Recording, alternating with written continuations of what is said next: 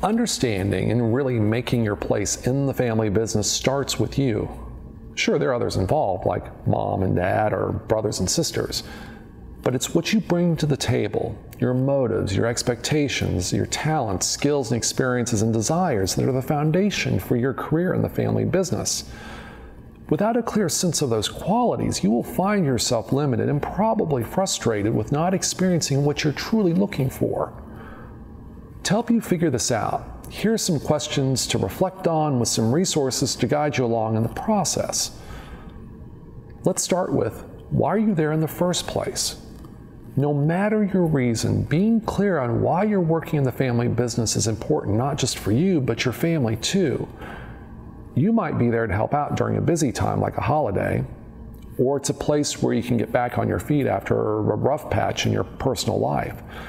Maybe you want to carry on the family legacy or enjoy some of the perks of a successful enterprise. No matter the reason, be honest with yourself and your family.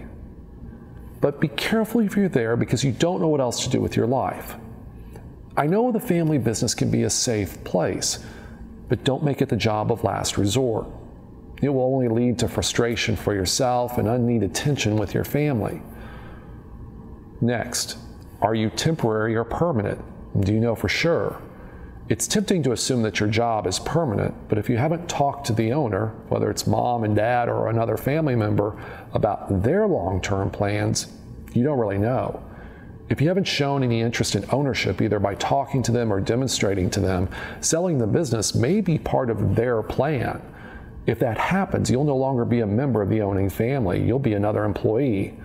Any benefits or autonomy you enjoyed will probably disappear, possibly along with your job. Next, are you the right person in the right seat? Jim Collins, in his book Good to Great Why Some Companies Make the Leap and Others Don't, popularized the term right people, right seats. That's a simple concept. For any organization to be successful, they must not only have the people with the knowledge, the skills, desire, and experience, but those well qualified people must be in the right job or seat to be successful. Family businesses trip over themselves when loved ones are given jobs for which they're ill qualified. It's a short term solution, either fill an empty seat or help a family member struggling, but it creates a long term problem. Next, what if it's not your place after all? Working in the family business has a lot of benefits, many of which you, you may not fully appreciate or realize, especially if you've never worked for anyone else.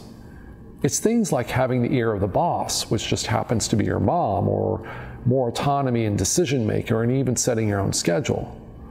But despite those perks, it may not be the best place for you, and that's okay. If it's not, or you're not sure, check out my article, What to Do If the Family Business Isn't for You. Sometimes things change or you learn more about yourself and what you want out of your life. Whatever the reason, leaving the family business isn't a sign of failure. It's the very mature realization that there are other options you need to and want to explore. There's a lot that goes into understanding and making your place in the family business.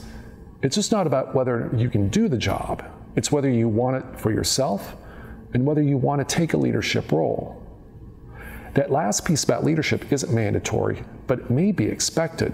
So be clear on your motives for joining, the skills and talent you can offer, and ultimately what you want for your life. Until next time, I wish you, your family, and your business the very best. Take care.